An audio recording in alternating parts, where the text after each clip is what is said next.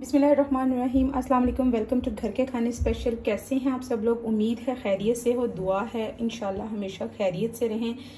आप भी मुझे अपनी दुआओं में याद रखिएगा। जनाब, आज बन रहे हैं मसाला भरे करेले तो किसी के घर में कीमा भरा जाता है, किसी के घर में दाल भरी जाती है, किसी के घर में इसके ही बीज निकाल के प्याज में पीस कर भरे जाते हैं। तो मैं तो बिल्कुल सिंपल मसाला भर रही हूँ इसमें, लहसुन, प्याज, अदरक वाले, ठीक है? लेकिन थोड़ा सा डिफरेंट इसलिए है कि मैं इसको पका के भरूँगी इसमें, ठीक है? कुछ लोग बिल्कुल सादा मसाला भर लेते हैं, कच्चा मसाला, लेकिन मैं इसको थोड़ा सा पका कर फिर इनके अंदर फिल करूँगी और फिर उसको दम पर रख दूँगी। आप देखें जनाब, करेले मैंने छीले नहीं है, ठीक है? करेले एजरीज बनाऊँगी और दूसरों से डिफरेंट क्या है? मुझे नहीं पता आपके घर में कैसे बनते हैं, लेकिन मैं कैसे बनाती हूँ, आज आपके साथ शेयर करते हैं। जी तो जनाब, हैरान होने की बिल्कुल ज़रूरत नहीं है कि करेले पानी में क्या कर रहे हैं, आपके घर में तो फ्राई करके बनते होंगे और मोस्टली घरों में फ्राई करके बनते हैं। अच्छा मेरे हाथ से फ्राई किए हुए करेले हमेशा कड़वे बनते हैं। मैं उसमें कुछ भी ऐड कर लूँ, कुछ ना कुछ कड़वाहट उनमें रह जाती है, जिसका कहा जाता है कि अगर कड़वा ना हो तो करेला कैसा? लेकिन अगर आप बॉईल करके बनाएँगे तो बिल्कुल भी ऐसा नहीं होगा। आप हैरान हो होंगे कि बॉईल करके कौन बनाता है भाई? अगर आप इसको ट्राई करें और इस रेसिपी के दीवाने ना हो जाए तो फिर करें जिससे कभी अच्छे नहीं बने, वो भी इससे अच्छे करेले बना सकता है। इनको छीलना बिल्कुल नहीं है और बाद में भी नहीं छीलूँगी इनको। मैंने इसको बॉयल होने रख दिया है। अभी मैं वीडियो बंद करूँगी तो इसकी गैस थोड़ी तेज़ कर दूँगी। अभी आपको इस तरह आवाज़ नहीं आएगी इसकी। इसमें ऐड कर रही हूँ मैं एक चम्मच नमक। ठीक है? एक टेबल स्पून आप कह सकते हैं, मैंने नमक ऐड कर दिया। अब बताती हूँ आपको इसका सीक्रेट कि सीक्रेट इंग्रेडिएंट क्या है जिससे ये कड़वे बिल्कुल नहीं बनते? ये देखें जनाब। ये मैंने इसमें ऐड कर दिया। टू टेबल स्पून विनेगर अब इसमें सिर्फ़ पाँच से दस मिनट बॉयल आने के बाद सिर्फ़ पाँच मिनट आपने इसको पकाना है और इनको निकाल लेना है। और देखिएगा आपके करेले बिल्कुल भी कड़वे नहीं होंगे। इसको आप टिप भी समझ लें जनाब। ये देखिए जनाब हाफ़ के जी हमने करेले लिए थे, यानी कि बिटर का, और उसमें मैंने चार अदद बड़े साइज़ के प्याज ऐड कर दिए हैं। जिस तरह मियाँ वो दौरी में या कुंडी में कूट कूट के उसको मसाला बनाती हैं ना, बिल्कुल एक जान किस्म का तो हम चॉपर में चॉप कर लेते हैं अपने प्याज को। ज़रा जल्दी बन जाएँगे इसलिए, और वैसे भी वो लंबे लंबे प्याज उसमें अच्छे नहीं लग रहे होते तो हाथ से चॉप करने से बेहतर है। हम जल्दी जल्दी एक मिनट इसमें बना लेते हैं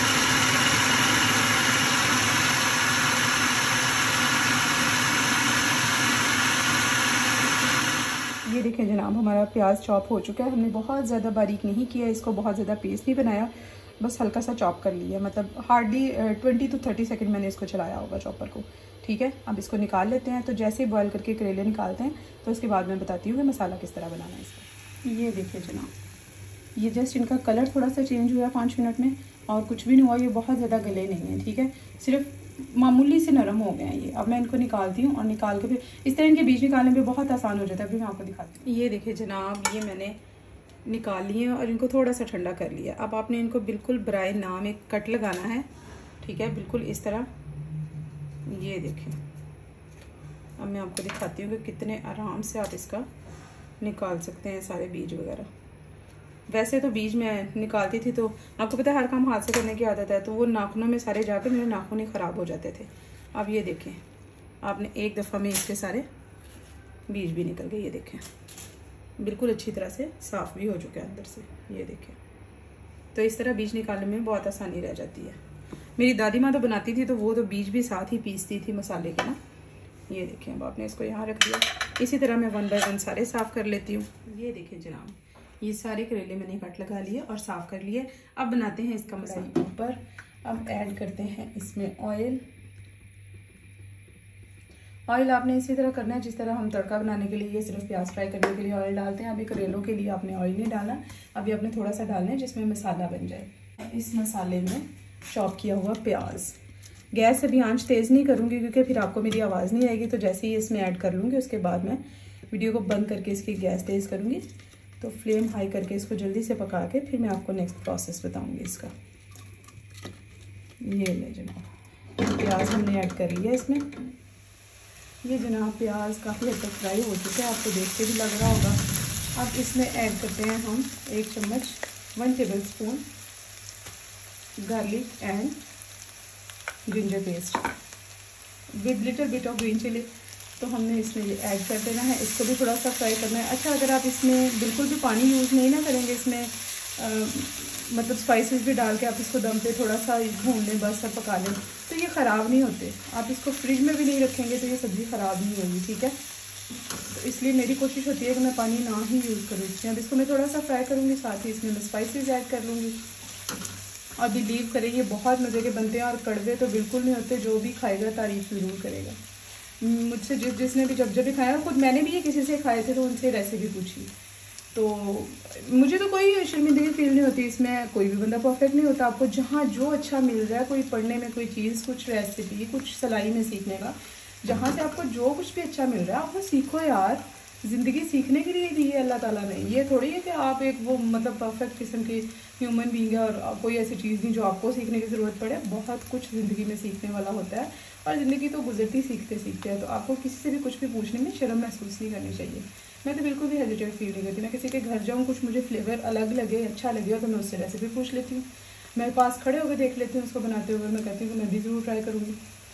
तो इसमें कोई शर्म वाली बात नहीं होती, बल्कि जितना आप ज़्यादा सीखते हैं, उतने ज़्यादा एक्सप्लोर करते हैं। और ये भी रेसिपी मैंने किसी से ही सीखी थी, वरना मैं भी अपनी अम्मी की तरह बिल्कुल वो फ्राई करने वाले जैसे शुरू में हमारे घर में वो एक कॉन्सेप्ट होता है ना कि करेले हैं तो फ्राई करके पकेंगे।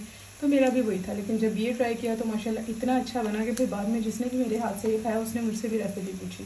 तो ये तो वैसे भी सदका जा रही है आगे से आगे चलता जाता है। तो ज़रूर ट्राई करिएगा और इन आपको ज़रूर अच्छे लगेंगे। कमेंट्स में मुझे ज़रूर बताइएगा जिस जिसको भी अच्छे लगे और जिसने ट्राई किया। ये नहीं जनाब अब तकरीबन लहसुन अदरक भी फ्राई हो चुका है, अब इसमें ऐड करते हैं स्पाइसेस ये जनाब मैंने ऐड कर दी इसमें वन फोर्थ टेबल स्पून हल्दी। One four tablespoon turmeric powder यानी कि एक चौथाई चम्मच हल्दी. One tablespoon red chilli flakes red chilli flakes के बाद मैं डाल रही हूँ salt one tablespoon red chilli flake है तो three fourth tablespoon salt उससे थोड़ा कम ही ऐड करूँगी। वो इसलिए कि करेलों में भी मैंने नमक डाला था ऑब्वियसली उनका जायका भी होगा और वैसे भी मिर्ची से थोड़ा कम ही नमक जाता है इसमें, क्योंकि नमक मेरा ज़्यादा खा रहा है। आप देख लीजिएगा अपने घर के हिसाब से। Half tablespoon coriander powder आधा चम्मच मैंने इसमें डाल दिया धनिया। अब इसमें ऐड कर रही हूँ वन फोर्थ टेबल स्पून ज़ीरा। अब एंड पे तो ये कोई दाल वाल तो है नहीं, आप इस पे एंड पे गरम मसाला ऐड करें। तो मैं ज़रा स्पाइसी सा मसाला बनाती हूँ, इसलिए मैं इसमें ऐड करती हूँ। वन फोर्थ टेबल स्पून गर्म मसाला पाउडर तो जनाब, आपने कर लेना है इसको मिक्स अगर आप फ्लेम लो रखेंगे और इसको मिक्स करके दम पे लगाएँगे तो इसकी मिर्चें बिल्कुल भी आपके गले को नहीं इरीटेट करेंगी और मिर्चें इसकी जलेंगी नहीं। आप इसको जितना अच्छी तरह पका लेंगे, ये करेलों के अंदर उतना ही आपको ज़्यादा फ्लेवर अच्छा देगा। और अगर आप इसको पानी नहीं लगाएँगे तो मैंने आपको पहले भी टिप दी है कि ये ख़राब बिल्कुल नहीं होंगे, चाहे आप फ्रिज से बाहर ही रख दें। मुझे ना फ्राइड चीज़ें दोबारा गर्म करना ज़रा मुश्किल लगता है, और मैं अवन यूज़ नहीं करती। मोस्टली मैं कोशिश करती हूँ अवन और नॉन स्टिक चीज़ों से ज़रा अवॉइड ही करूँ। चलिए अब इसके ऊपर ढक्कन लगा देती हूँ। इसको रखती हूँ मैं पाँच मिनट दम पे, ज़रा मसाला बहुत अच्छी तरह भुन जाए। फिर आपको बताते हैं कि इसको करेलों में किस तरह फिल करें ये देखिए जनाब, अब करेलों में भरने के लिए हमारा मसाला रेडी हो चुका है। अब मैं कर देती हूँ इसका फ्लेम बंद। और ये देखिए, अब आपने इसमें से ऑयल को साइड पे कर लेना, ठीक है? आप इसको प्याज वगैरह मसाले को आप एक साइड पे करेंगे तो ऑयल इसमें से खुद ही निकल के साइड पर हो जाएगा। क्योंकि इसको थोड़ा ठंडा भी करेंगे। आप गरम गरम भरेंगे उसमें तो आपसे उसको पकड़ कर ऊपर धागा नहीं लपेटा जाएगा, ठीक है? थोड़ा सा ठंडा हो जाए, क्योंकि उसमें से जो भी कोई ऑयल के चंद ड्रॉप्स भी निकलेंगे, आपके हाथ पे वो गर्म ड्रॉप्स पड़ेंगे। तो इसलिए सारा मसाला एक साइड पर कर दें, ताकि इसमें से ऑयल एक दूसरी साइड पर निकल जाए। फिर इसी ऑयल में मैं और ऑयल ऐड करके तो उसमें करेले फ्राई कर लूँगी, ठीक है? ये थोड़ा सा ठंडा होता है तो मैं आपको इसकी फिलिंग बताती हूँ। ये देखें जनाब वेलकम बैक अब ये देखें ऑयल बिल्कुल सारा उसमें से अलग हो चुका है, और वो रह गया आपका मसाला। अब आपको बताते हैं फिलिंग के किस तरह आपने इनमें भरना है। मसाला उतना ही भरा कीजिए कि जितना उसमें फिक्स आ जाए। ठीक है? जब हम ज़्यादा भरते हैं तो वो निकलते निकलते फिर सारा ही निकल जाता है। तो जब हम पूरा पूरा भरते हैं और उनको बंद कर देते हैं तो वो मसाला उसके अंदर बिल्कुल अच्छी तरह पक भी जाता है उसकी स्टीम में और उसमें भी करेले का टेस्ट आ जाता है और फिर वो बाहर भी नहीं निकलता, ठीक है? ये देखें। लेकिन हम घर के पराठे की तरह के जितना ज़्यादा उसमें डालेंगे, आलू तो उतना ही मज़े का, वही हिसाब हम करेले के साथ भी करते हैं तो ऐसा नहीं करना चाहिए। जब वो एक्सेस निकलता है तो उसके साथ फिर वो जो उसके अंदर है वो भी निकलता जाता है साथ साथ ये देखिए जनाब, ये जो पहला राउंड आपने इसको देना है, बस उसके ऊपर से दूसरा गुजार लेना है तो ये देखें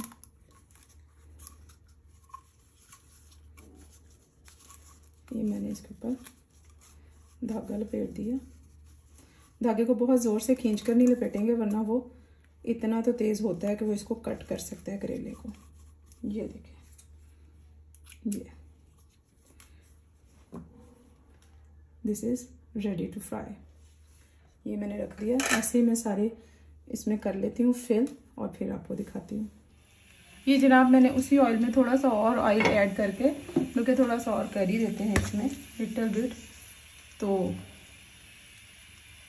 मैंने इसमें, करेले सारे रेडी थे, ठीक है? सबको मैंने फिल कर लिया और मैंने इसमें रख दिए। अब इसको हमने दम पर पकाना है, ठीक है?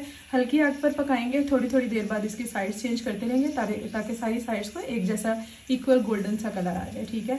तो इसी दौरान में ये अच्छी तरह गल भी जाएँगे और पक भी जाएँगे, ठीक है? तो इनको रेडी करते ही साथ बना लेंगे रोटी। बच्चों का लंच टाइम होने वाला स्कूल से आते होंगे। So this is the recipe of masala bhare karele तो इसको मैंने दम लगा दिया। अब थोड़ी देर बाद जब इसकी साइड चेंज करूँगी तो आपको इसका कलर भी दिखा दूँगी। ये देखें जनाब, करेले ऑलमोस्ट रेडी हैं। अभी तक मैंने कोई तीन से चार दफ़ा इनकी साइड चेंज की हैं और ये सारी साइडों से इक्वली पकते हैं। तो अभी जैसे ये बिल्कुल रेडी हो जाते हैं तो मैं आपको प्लेट में सर्व करके दिखाती हूँ। मसाला इस्याम इसकी खुशबू इतनी प्यारी आ रही है कि यकीन करें मेरा दिल कर रहा है मैं दिखा दूँ अलहमदिल्ला इट्स डन नाउ और ये मैंने ऐड कर दिया इसके ऊपर थोड़ा सा धनिया। और कर दिया इसका ढक्कन और फ्लेम भी ऑफ़ कर रही हूँ। अब बना लेती हूँ रोटी। No this is the final look of masala bhare karele. ये देखें जनाब, रोटी भी बन चुकी है। It's ready now it's ready to eat like share and subscribe ज़रूर कीजिएगा। हिट द बेल आइकन दुआओं में याद रखिएगा। जजाकल्ला पसंद आए तो कमेंट्स में बताइएगा ज़रूर। अल्लाह हाफिज़।